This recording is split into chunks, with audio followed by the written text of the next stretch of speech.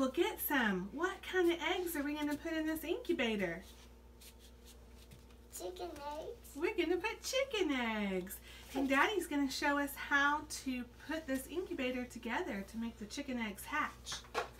Okay, John, show us how to put the incubator together.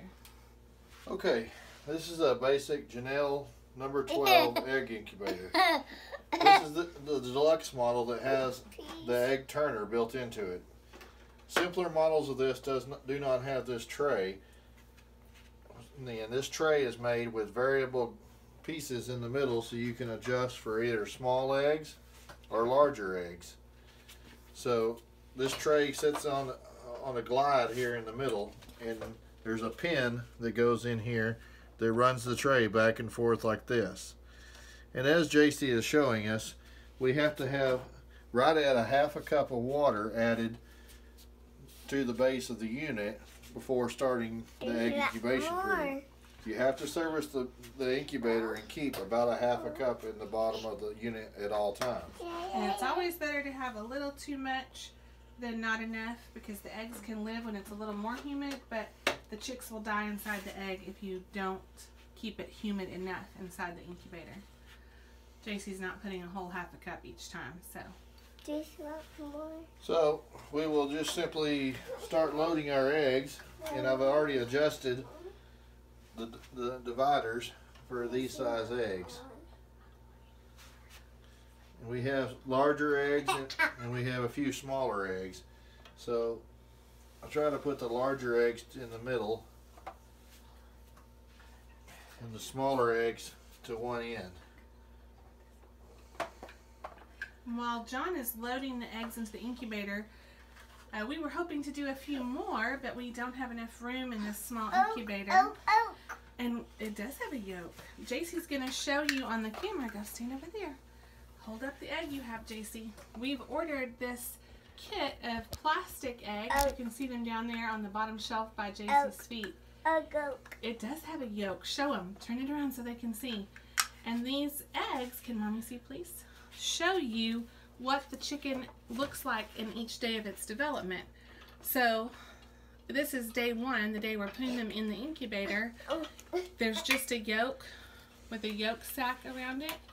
And these eggs were actually laid about a week ago.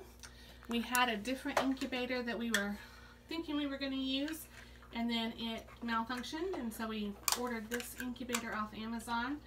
We're going to use it instead. It's really good to put the eggs in the incubator from four to seven days after they're laid. And these, today is Friday, February 2nd. And these eggs were actually laid on Thursday, Friday, and Saturday of last week, the last week in January. So we are hoping that we're getting mostly eggs laid on Friday and Saturday, but chickens don't know days of the week and so they're not always exacting. So we're hoping also for a little bit of um, leeway from nature and from God who made these eggs. And John's just arranging them. He's changing the dividers so you don't want the eggs to be able to move around too much. If they can, they could crack while being moved since it just rolls on, I'm taking it. from side to side. So now, um, we showed you day one, that on day one, the egg is just a yolk. Now John's going to finish explaining the incubator and then JC will show you what we're hoping for as an end result. This is the top of the incubator that has the heater and, and the rest of the electronics in it. It this is the egg turner here, and this pin simply goes into that tray, and as it rotates, it moves the tray back and forth. So whenever we drop this onto the unit, we have to make sure that the pin goes into the tray, like so. And we plug our unit in, and we set our temperature. And the temperature for chicken eggs is um, between 97 and 100 degrees. Really, even one degree more can be problematic, um, but if you stay between 97 and 100 degrees, that's about perfect. Typically, any information you get will say 100 degrees. And does this one have a humidity monitor, John? This one does not have a humidity monitor. There is a hole here in the top So you can feed the cords from a humidity monitor or, a, or an external thermometer into the unit, but it does not actually have a humidity monitor in it.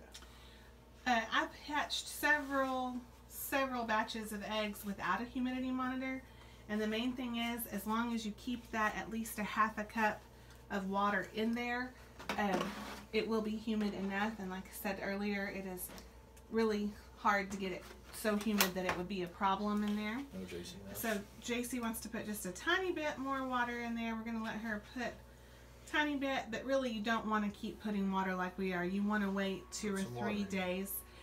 Another thing that we're not doing that would be ideal is normally, oh, you don't want to actually pour it on the eggs either, so you might not want to let your two-year-old do this. Um, the other thing that we're not doing is usually you'd want to wait and let your um, let your incubator set for at least 24 to 48 hours after you initially get it in the mail and plug it in so that you can make sure it's not going to malfunction or have any problems with controlling the temperature. And so, here you go. Show her this. Show this Take this. Um, but we're not doing that because these eggs were already laid a week ago. We want to get them incubating, and if they don't end up incubating, then it'll be too late for this particular set of eggs, and we'll need to get new eggs to try to hatch. JC wants to show you day 21 of the set of plastic eggs that we have there. She's showing you that on day 21, we're hoping these little baby chickens hatch out of there and they'll be just about as crazy as JC is right now by the time that they are 24 hours or one day old. So, we hope that you'll come back. We probably won't do a video every single day because we'll just be looking at eggs. But I'll do some read alouds of chicken books and show you the eggs after each one. Hopefully we'll catch them with the turner on at some point. And we will, each time that we do a video, show you the inside of our demonstration eggs and what the embryos look like at that point. We hope that you will come back and enjoy our chicken hatching experience with us.